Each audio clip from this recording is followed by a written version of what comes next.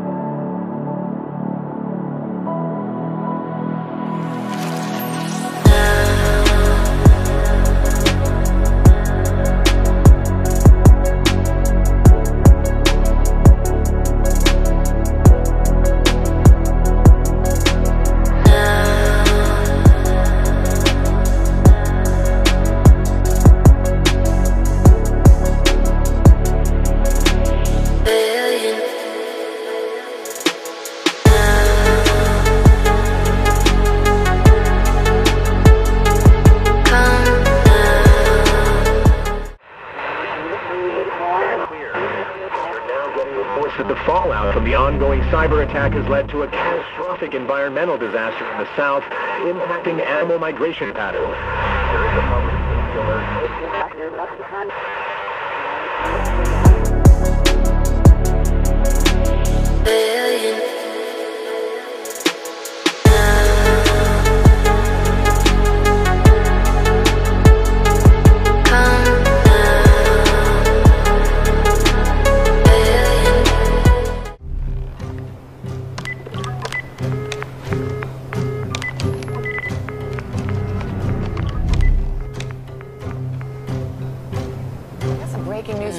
Ta-ta right at the top, and a lot of Americans are feeling it right now. If you've had some trouble using your cell phone this morning, it's not just you. You're not alone. Yeah, major carriers have been experiencing widespread outages all across the country. Though AT&T is the most affected overnight, users are on social media and they're saying their cell service was down. They were unable to make or receive calls. Many are saying though texts appear to be working just fine. We're going to try to sort all this out with NBC's Brian Chung. Hey, Brian. Good morning. Good morning. Some pretty alarming uh, issues here nationwide when it comes to the cell phone outages. So it's happening at three major carriers. It's happening at Verizon, AT&T, and also T-Mobile. AT&T appears to be the most affected with about 30,000 outages. It went down and then spiked back up alarmingly. Uh, we've also seen issues around a thousand in number at Verizon and T-Mobile. Uh, and what seems like a good sign, uh, you know, AT&T outages, they did dip, but again, we're going to see whether or not uh, after they've spiked again, can they really resolve those issues? Now, some of the most affected areas so far, they include San Francisco, Los Angeles, Houston, Atlanta. So it's happening in many pockets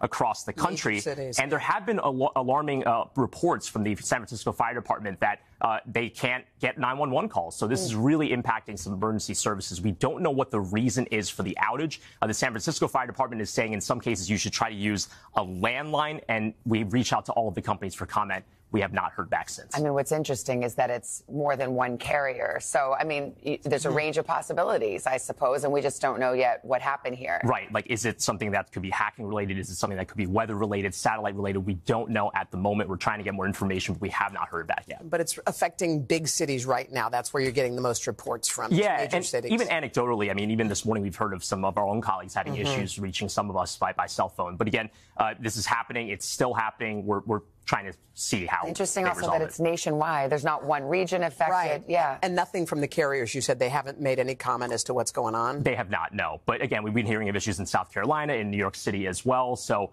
uh, again, it was. It, it seemed like AT&T was able to make the number go down, but then it spiked back up again. So again, it's just we're not out of the woods yet. All right, stay on it, Brian. Thank, Thank you. you.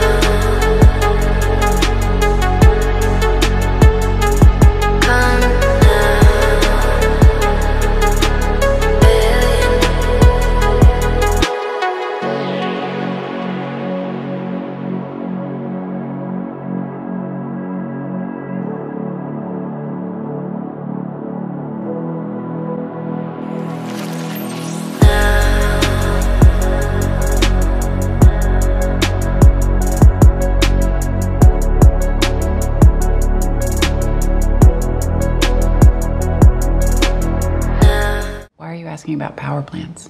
Hackers can get into power plants. That's probably how they caused the outage. You remember that thing that happened in Jersey a few years back? It nearly caused a meltdown. Is that your daughter out there? She's sweet. How old is she? 13 last month. Mm. 13 last month. Mm.